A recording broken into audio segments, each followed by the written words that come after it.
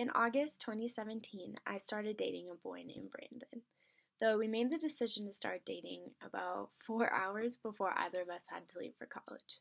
He was leaving for his senior year at Northwest Nazarene University, which is in Idaho, and I was leaving for my sophomore year here at the University of Wyoming. We made this decision to start dating long distance mostly because we knew we had digital media to fall back on.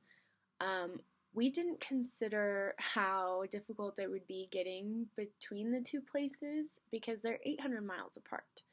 And this decision really influenced my use of social media. I wasn't that big of a user before um, because I, I didn't have anybody to talk to that was so far away or so important for me to talk to all the time. But now that my boyfriend was 800 miles away, I had to be able to use FaceTime and Snapchat and texting as often as possible. And that really changed the way I used my phone and the way I looked at media. Um,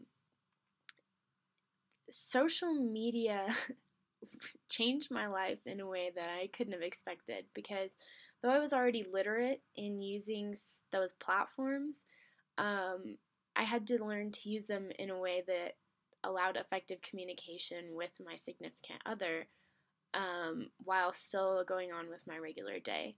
And that's something that I think is difficult to learn when you don't have a way to apply it all the time.